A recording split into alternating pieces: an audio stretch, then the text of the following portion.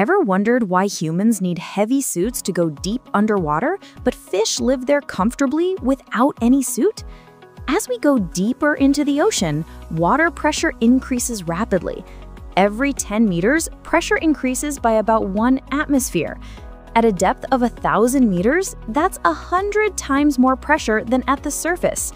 Human bodies have air spaces, like lungs and ears. Under high pressure, these spaces get compressed.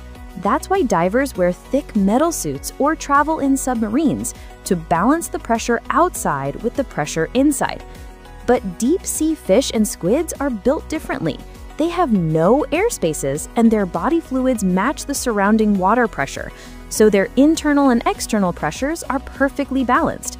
If you bring them up suddenly to the surface, their internal pressure becomes greater and their bodies expand or burst. So, same ocean, but completely different physics.